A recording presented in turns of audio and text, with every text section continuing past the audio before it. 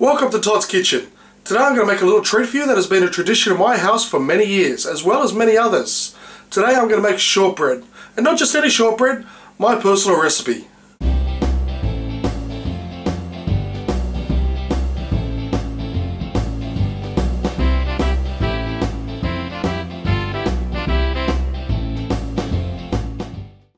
Now for this traditional Christmas recipe, you're going to need some plain flour, some rice flour, caster sugar, unsalted butter, and some icing sugar. Now into a sieve placed over a bowl, you're going to place 2 cups of plain flour.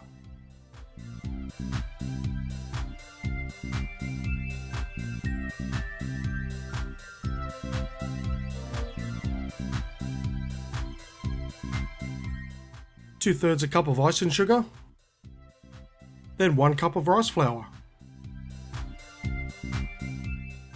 Then sieve to combine. Next put in 250 grams of half melted butter.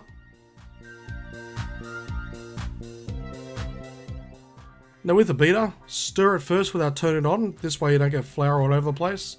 Once it gets harder, then you can start beating.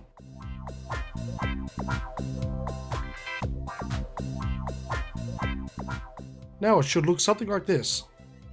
Next, lightly flour your chopping board.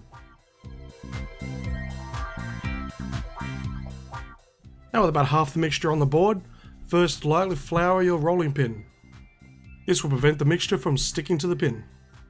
Next you want to roll your dough until it's about 5mm thick.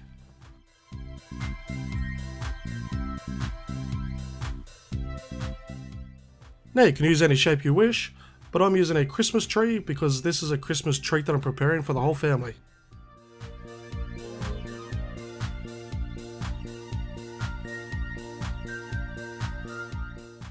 Next place your cut out pieces onto a baking tray with lined baking paper. Now I've just given it a light sprinkle of caster sugar just for extra flavour. Once you've done that, place it into a preheated oven at 160 degrees Celsius for 30 minutes until they just start to brown on the outside.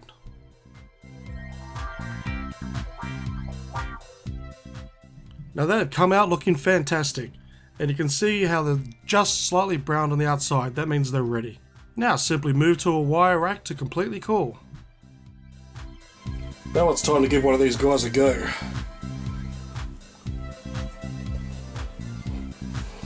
Mmm. Mmm. Mm. Oh, that came out perfect. Perfect.